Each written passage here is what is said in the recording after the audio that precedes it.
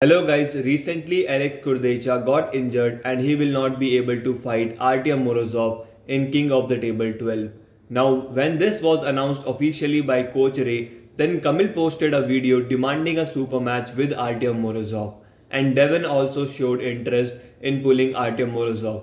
Now Artyom Morozov replied to both Kamil and Devon. Artyom said he is ready for both of them. Now very recently Devon posted this video Artyom the Terminator on his YouTube channel in which he revealed that Core Sports is looking at Kamil for the replacement whereas Devon really wants this one that he should be given the opportunity to pull Morozov. Now I really want to see Devon versus Artyom Morozov super match.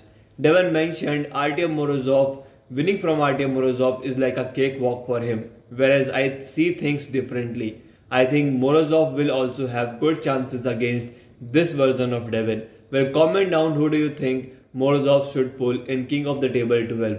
Like, subscribe and press the bell icon. See you in the next video. Thank you very much for watching.